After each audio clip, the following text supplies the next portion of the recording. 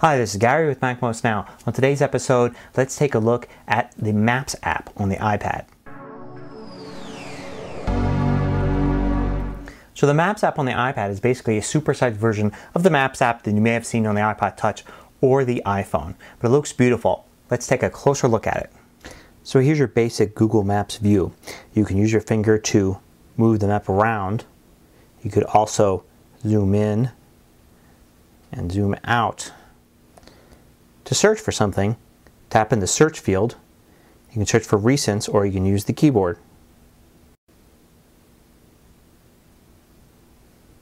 You can search for a specific address or you could type in a general search term. In this case, I'm typing in search for a specific place and I'll find it pretty easily.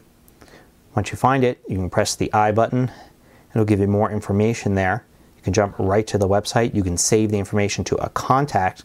You can share it as a vCard, actually, and you can bookmark it here in the Maps program. You can also just jump right to directions. So let's say I want to search for something where there's more than one location. So let's say I can search for an Apple store.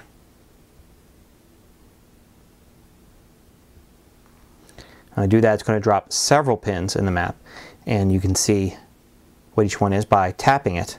You can see some of them aren't actually Apple stores at all, but they are related. I could scan around in the map and find ones that are even just off the edge. Or how about I search for something even more general.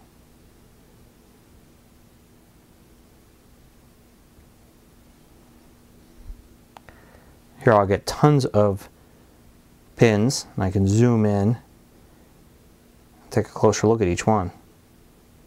So what else can you do? You can press this bottom corner here and you can switch to satellite view and view your map as satellite or my favorite view is the hybrid view.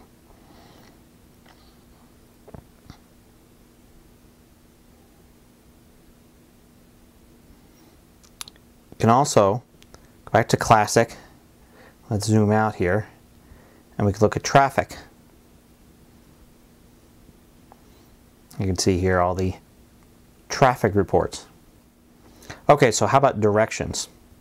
Well, go in here, we'll switch to directions, and you can pick two locations. So let's say I'm going to look for a way to get from Coors Field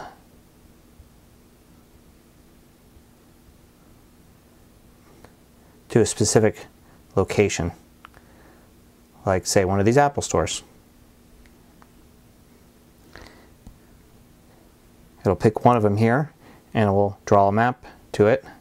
I can see the directions. Now, Google's not always great in giving you directions. You can see here it wants me to get on the highway, go north for some reason, and turn around to be able to get back this way. It may actually be accurate, but it seems like perhaps I should get to go a more direct route. I can switch to public transportation directions, and I could even switch to walking directions as well. So you can see it does save past searches, even directions. So here's a set of directions that I did recently, and it will draw those.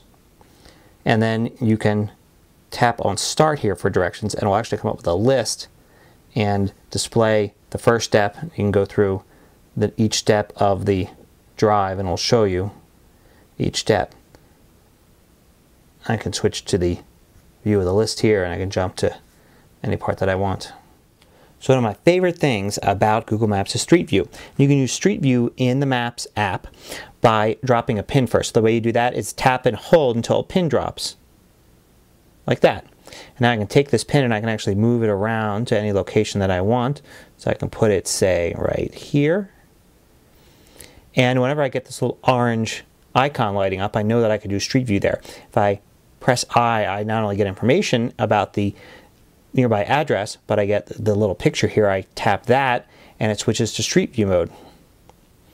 And now I can view what it looked like when the Google car passed by. And I can continue down a street by using the arrows. And it gives me the little map down here at the bottom.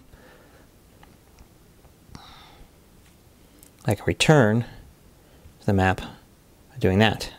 If you ever want to find your current location, just press that little target button there. Also, you have your bookmarks that you can add. easily. So you can have locations like your home or places you go to normally and need directions to and from. It's very handy. Now, of course, the GPS location that the Maps app finds is not based on a real GPS location, like up to satellites. It's based on local Wi-Fi networks. So it's decently accurate, but not going to be as accurate as your iPhone.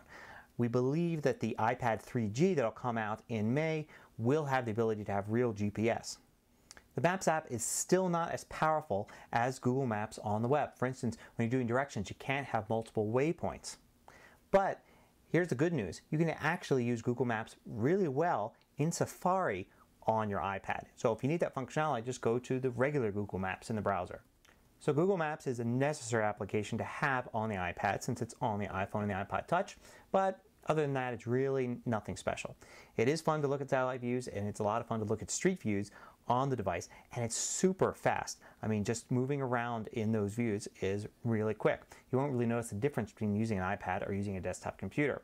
Hope you like this look at the Maps app on the iPad. Till next time, this is Gary Rosenzweig with MacMost Now.